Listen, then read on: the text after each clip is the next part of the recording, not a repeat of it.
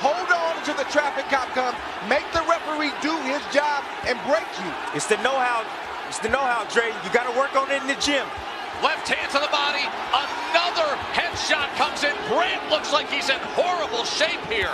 He is. This is not time to be offensive. This is time to hold your opponent, stop him from hitting you, to allow yourself to clear your head.